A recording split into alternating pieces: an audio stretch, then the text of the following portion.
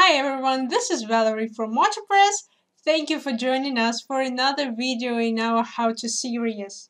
In this tutorial, I'll show you how to fix email delivery issues on your WordPress website with the help of the free plugin. But before we get to the technical part, make sure to subscribe to our channel for more helpful content. And ring the bell to receive notifications from the WordPress channel. So if you want your WordPress emails to actually make it to the inbox, stay tuned.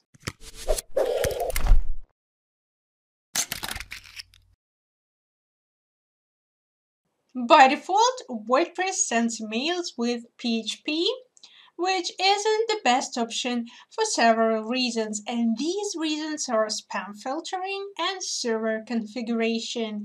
And by using the PHP option, many mail services risk ending up in spam folders or in some cases even not reaching the recipients. To improve email deliverability, we recommend sending emails using a simple mail transfer protocol SMTP. SMTP changes the way your site sends emails by appropriately authenticating them.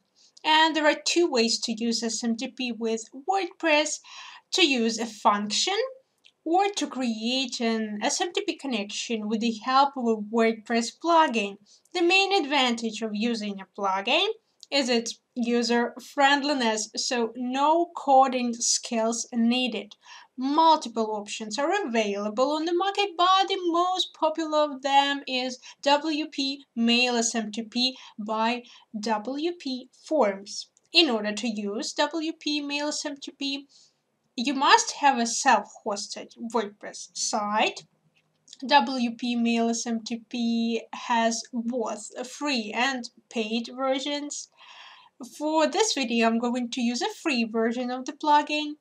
And once the plugin is installed and activated, you can use the plugins wizard to configure all the necessary settings or do it uh, from the dashboard. Under the General tab, the first section is License, which allows you to connect your paid account, be it a pro version, elite, or another tier, Just paste the license key and press connect. And if you're using a free version, you can skip this step. And this is what I'm actually doing now. Next, uh, this is the email address uh, that all of your site emails will be sent from. We recommend that you also check the box labeled force from email and doing so will ensure that you use the same from email across your WordPress site. The name you choose here will appear in outgoing emails that your WordPress site sends to customers. However, you can change this to anything you'd like. You can also choose to enable the force from name setting uh, to apply this name to all emails site-wide. We recommend checking the optional return path checkbox uh, to set the return path to match the from email. With this uh, checkbox checked, you'll receive an email if any messages bounce due to issues with the recipient's email. In the next step, uh, we'll choose a mailer service the mailer service will depend on a lot of factors and you should choose the mail provider that you think is the best fit for you. You should consider services like SendLayer, smtp.com and uh, if you're an owner of the large sites that sends tons of emails on a daily basis, but these services will cost you and the cost will depend on the number of emails and user accounts. For small business sites or blogs uh, that have moderate traffic, Gmail is a great option In this video, we'll cover the setup process when selecting Gmail. Gmail is a really great way uh, to make your WordPress site's emails more reliable without spending money on a dedicated service. So Gmail lets you send up to 500 emails per day. So we see the Gmail option requires additional info such as client ID and client secret. To obtain them, you'll need to sign in to Google and open your Google Cloud Console.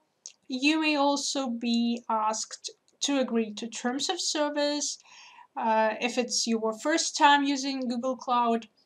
Next, choose a project to use for your app.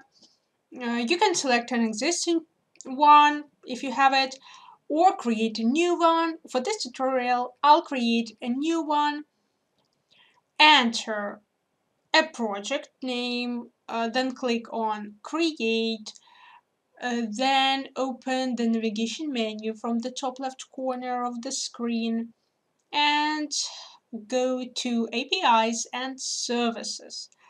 Uh, then you need to click library and on the API library page, uh, search for Gmail API, then click on the Gmail API result and on the next screen, click enable. After you enable the Gmail API, you should be redirected to the Gmail API overview page and here you should click on the create credentials button. On the next page, Google will ask a few questions to determine the credential type you need and from the Select an API dropdown, choose Gmail API. After that, under What data will you be accessing, select the User Data option, then click the Next button to proceed. The details in this form are mostly for personal use. type in an app name that makes sense to you. Uh, pick your email from the user support email dropdown. Uh, you can skip the logo.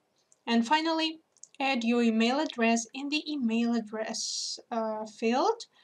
Then uh, click on the Save and Continue button.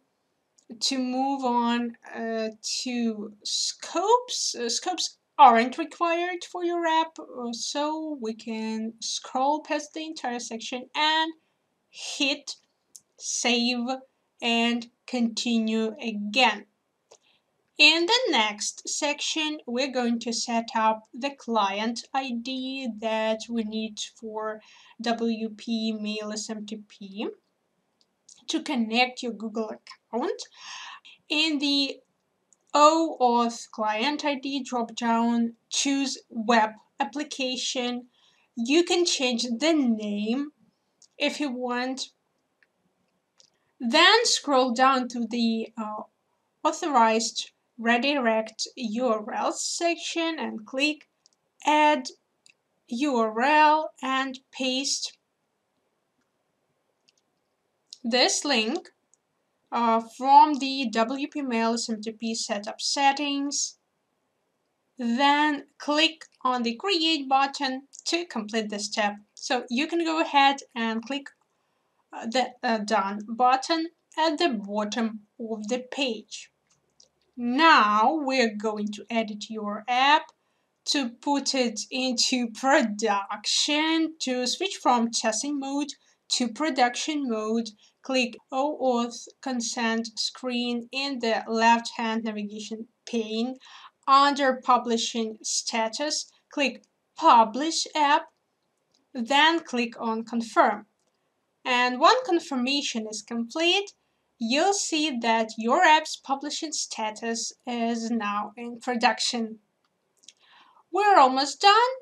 As the final step, we need to connect WP Mail SMTP to Google and without this, the app won't be able to send emails.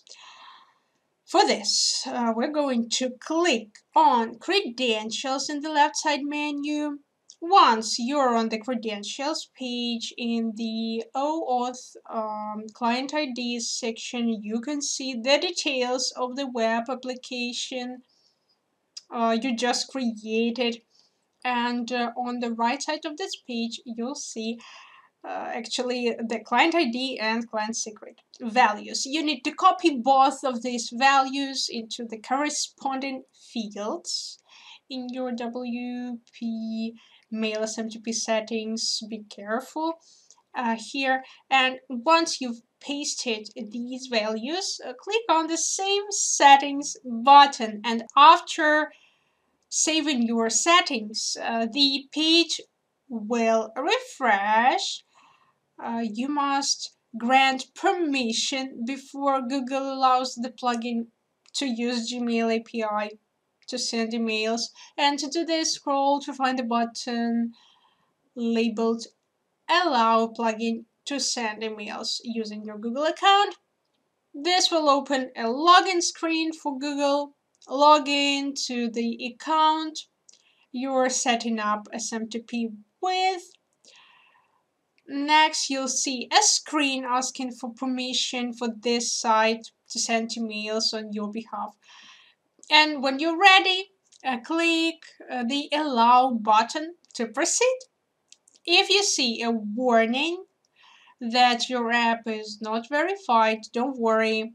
Uh, free Gmail users will see this because Google hasn't checked the app, so we don't need uh, Google to check it. The app won't be used by anyone else. So go ahead and click advanced and then go to unsave option. And when the connection is complete, you're ready to send a test email. To do so, navigate to the Email Test tab. And once the Email Test tab is open, you'll need to enter an email address whose inbox you have access to.